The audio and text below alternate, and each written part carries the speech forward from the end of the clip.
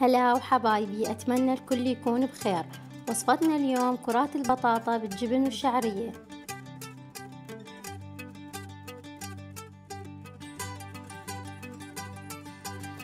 المقادير بطاطا مسلوقة بقسماط ملح فلفل أسود صفار بيضة بياض بيضة شعرية وجبن شدر.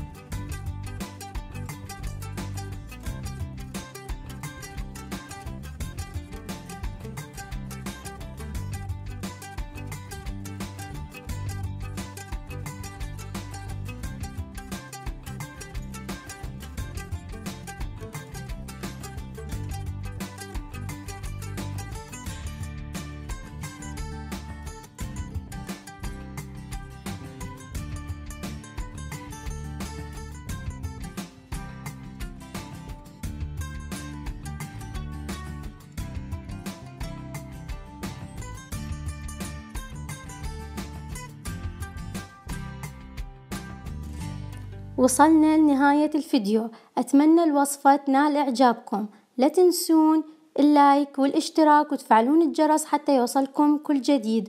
دمتم في حفظ الرحمن.